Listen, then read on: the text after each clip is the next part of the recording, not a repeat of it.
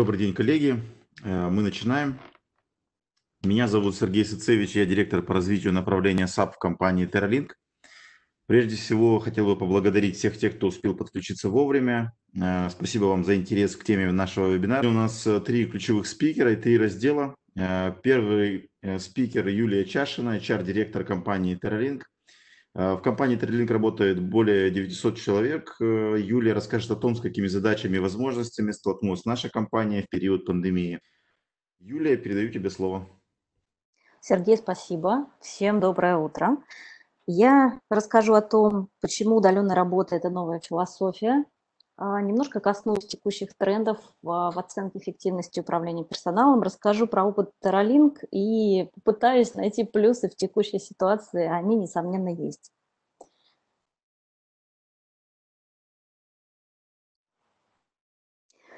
За последние 60 дней российские компании экспрессом проскочили станцию «Удаленная работа не поощряется» или вы можете работать удаленно по пятницам. К станции вы можете вернуться в офис в конце года или вы можете работать удаленно постоянно. Еще недавно у нас удаленная работа ассоциировалась со следующими сложностями. Это противоречивые указы правительства, документооборот, требования безопасности, контроль рабочего времени – Однако, когда прошла первая волна стресса, выяснилось, что поменялись не только юридические и физические аспекты труда, но и культура социальных взаимосвязей. Поэтому вопрос перехода на удаленную работу – это не где мы работаем, это как мы работаем. Это означает наличие системы целеполагания и отлаженных бизнес-процессов в компании. Кризисная ситуация всегда лакмусовая бумажка для бизнеса. Кризис, как мы знаем, обнажает проблемы, существовавшие в компании и до этого. Поэтому реалии настоящего времени требуют смены парадигмы управления компанией и персоналом в частности. Современная компания не может не задумываться над контролем показателей эффективности и вовлеченности персонала, контролем соответствия личных целей каждого отдельного сотрудника стратегическим целям компании. Наша практика подтверждает эффективность поощрения успеха, а не работу над ошибками через состояние стресса. Очень важно оперативно определять источники мотивации сотрудника, подобрать подход для каждого, который мотивирует лично его развиваться личностно и профессионально и вовлечет его в процесс достижения общих целей и задач, и подчеркнет его значимость и, и уникальность. Как мы можем видеть сейчас, по разным оценкам, более 80% капитализации компаний на фондовом рынке – это интеллектуальная собственность, продукт, бренд, качество предоставляемых услуг. И в этих условиях, я думаю, вы согласитесь, что роль человеческого капитала выходит на первый план. Это означает, что при создании и постановке целей необходимо проявлять достаточную гибкость, принимать и давать большое количество обратной связи из разных источников и разными способами проявлять участие в жизни сотрудника. Мы осознали, что важный элемент продуктивности – это создание и поддержание привычных рабочих ритуалов, вне зависимости от типа работы. Мы говорим о рабочих встречах в одно и то же время, в, по общим правилам, и это помогает структурировать рабочий процесс и создавать чувство общности для всей команды вне зависимости от того, где бы она находилась. Думаю, вы согласитесь, что сотрудники, которые работают в дистанционном режиме, а, сейчас временно или всегда, часто чувствуют себя исключенными из процесса принятия решений или считают, что они вовсе игнорируются. И при этом у них практически нет шансов получить информацию из каких-то неформальных источников, из которых обычно мы получаем ее в офисной жизни. Это на обеде, в курилке, у кофемашины – и поэтому для эффективной интеграции удаленных сотрудников, создания причастности и создания именно чувства коллектива, а не конгломерат, необходимо обеспечить регулярный и прозрачный процесс информирования и вовлечения. Давайте подумаем про каналы в мессенджерах, чаты по интересам, может быть, для информального общения. Обязательно регулярные информационные письма о жизни компании, об изменениях, о целях, об успехах. Это важный элемент интеграции всех сотрудников а, в жизнь компании, в коллектив, вне зависимости от того, где они находятся физически. Важный момент это выявление неформальных лидеров.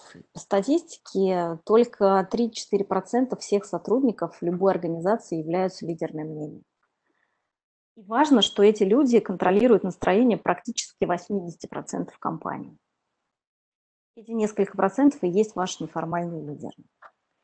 И крайне важно вовремя распознать этого лидера и сделать его своим сотрудником, союзником и выстроить корректную политику для удержания, может быть, каких-то оппортунистических настроений. И при правильной мотивации в условиях удаленной работы именно неформальные лидеры оказывают значительную поддержку в управлении ключевыми бизнес-процессами. Нельзя полагаться только на официально назначенных лидеров, потому что очень часто они не несут ту, того, э, той эмоциональной нагрузки, да, того эмоционального заряда, которым обладают, очевидно, неформальные лидеры. Расскажу немножко про наш опыт, с которым мы столкнулись в текущий момент. У нас, несомненно, был уже бэкграунд работы в, в дистанционном режиме, потому что компания Terralink географически распределенная. У нас есть офисы в других городах России, в других странах.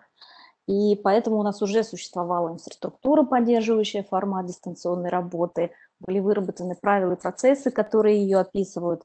Но когда мы перевели абсолютно весь московский офис на дистанционную работу, весь офис в Казахстане, мы осознали, что на самом деле мы не были готовы стопроцентно к стопроцентной удаленной работе. С чем столкнулись? Мы осознали, что понадобились единые правила удаленного режима работы.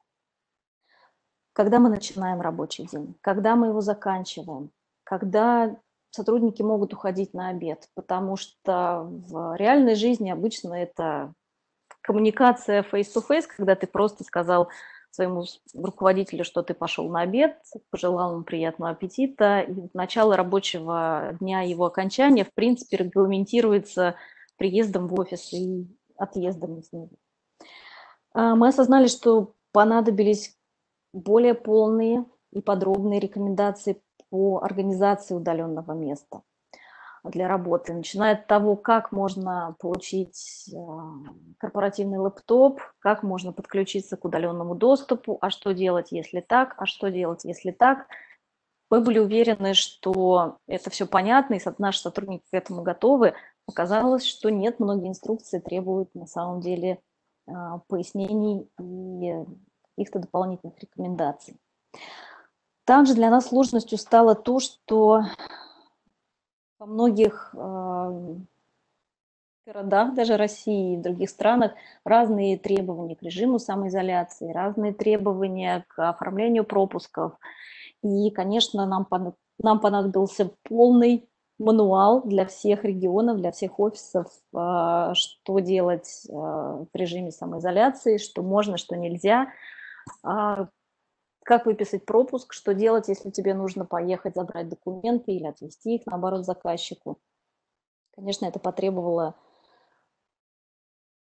большого, большого труда составления этих инструкций и э, регулярной коммуникации с сотрудниками, потому что они, конечно, находятся в э, диком стрессе, и любая информация про то, что твой пропуск аннулировался, вызывает еще большую панику. Я думаю, что все HR посидели за эти два месяца. А, также мы осознали, что необходимо поддерживать позитивное информационное поле в период неопределенности, потому что, конечно, а, сотрудники в основном получают новости о том, что режим продлен, самоизоляции или кому можно выписывать пропуск, кому нельзя. И, в общем-то, это и так э, нагнетает еще большую а, напряженность и неопределенность, поэтому мы поняли, что нужно делиться и хорошими новостями, что сделали, расскажу чуть позже. И, в общем-то, осознали, что действительно а, те цели, которые были поставлены и существовали э, до марта месяца, они абсолютно не актуальны в текущих условиях, и необходимо их пересматривать и пересматривать довольно оперативно. Что сделали? А, в первую очередь пересмотрели роль сотрудников. Я думаю, что и многие из вас с этим столкнулись, что в при э, переход не только на дистанционную работу, потому что многие функции сложно выполнять дистанционно, я думаю, вы с этим согласитесь. И новые бизнес-реалии нам диктуют пересмотр этих ролей. Да? Например, в компании Terralink резко сократился найм. И в текущих реалиях да, мы быстро, например, переориентировали команды рекрутеров на работу с внутренними коммуникациями, потому что рекрутеры знают практически всех, потому что они нанимают людей в компанию. И, соответственно, с помощью HR команды удалось и вывести нашу внутреннюю коммуникацию на новый уровень. Пересмотрели внутренние процессы с тем, чтобы фокусироваться все-таки на том, что важно именно в текущий момент времени. Переориентировались на краткосрочное планирование целей. Да? Если до этого были какие-то квартальные, квартальные чекапы, потому что сделано, что, что не сделано, что делаем дальше, сейчас э, многие бизнесы перешли именно на краткосрочное планирование, потому что это важно оперативное реагирование, да, и как мы видим, у нас ситуация меняется практически каждую неделю. Разработали единую базу знаний с инструкциями по работе в режиме удаленной работы и понимаем, что это будет а, важным подспорьем в дальнейшей работе а, когда режим самоизоляции прекратится. Осуществляли регулярную позитивную коммуникацию, сделали так называемый вестник удаленки, в котором рассказывали, что на самом деле компания живет, компания продолжает делать те проекты, которые стартовали до пандемии. Более того, выигрывает новые тендеры, а, делает успехи в текущих проектах. И а, в этом еженедельном а, вестнике, да, в этом боевом листке мы также персонально благодарили участников проектной команды, рассказывали об их успехах и, в общем-то, считаем, что это очень классный инструмент вовлечения и интеграции всех сотрудников в общую рабочую среду. Ну и, конечно, важным моментом было сохранение ритуалов, принятых в обычных условиях работы. Это как раз то, о чем я говорила когда описывала сложности, потому что казалось, что не все сотрудники могут самоорганизоваться. Им действительно это сложно. Плюс э, многие самоизолировались вместе с членами семьи, и поэтому это тоже внесло свои поправки. А, поэтому как раз мы настаивали на том, чтобы сохранять регулярный статус митинги в, те же даты, в то же время. в общем-то, сейчас по прошествии двух месяцев мы понимаем, что это помогло нам поддерживать э, продуктивность и эффективный формат работы. Собственно, мы так же, как и вы, пытаемся найти и плюсы в текущей ситуации, потому что они, несомненно, есть. А, для себя мы осознали, что мы можем обеспечивать непрерывность бизнес-процессов, поняли, через что мы это можем делать, а, удалили несущественное, обозначили важное, и как раз через это повысился фокус на результат, да, что, в общем-то, мы а, готовы подчеркивать именно важные вещи и регулярно мониторить приоритеты. Это возможность привлекать таланты вне зависимости от географии. Вот сейчас даже все консервативные области вынужденно перешли в режим удаленной работы и осознали, что это на самом деле возможно. И это из опции nice to have, что называется, превратилось в реальность. И если смотреть на будущее, то это значительно расширяет, на самом деле, горизонты для привлечения талантов в вашу компанию.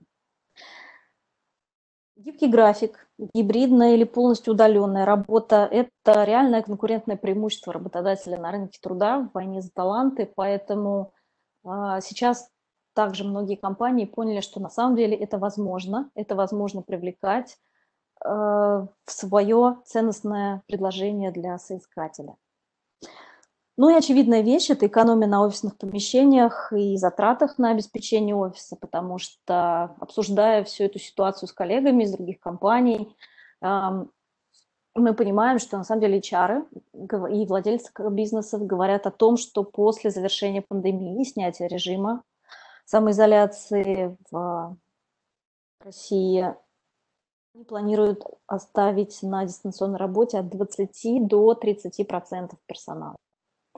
Поэтому, конечно, да, это значительно сэкономит а, а, нам стоимость рабочих мест.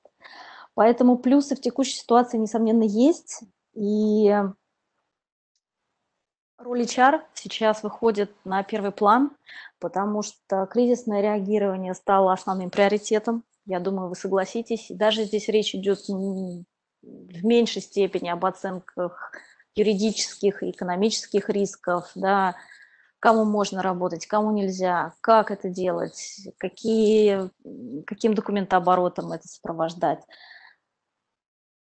Помимо этого, HR здесь может помочь в экстренном анализе бизнес-процессов. Да, это переориентация сотрудников на новые роли с тем, чтобы сохранить максимальное количество рабочих мест у себя в компании, чтобы, несмотря на высокую долю неопределенности, сотрудники могли получить новые компетенции, новые возможности и сохранили вовлеченность да, и позитивный настрой к работе. Ну и, безусловно, это помощь в адаптации системы целеполагания и оценки персонала, оценки эффективности, вовлеченности под новые условия, потому что условия, безусловно, а, поменялись, и та высокая неопределенность, она сохранится, я думаю, что еще на длительный период, поэтому важно бизнесу сейчас предоставить удобный инструмент, с помощью которого эти вещи можно будет отслеживать.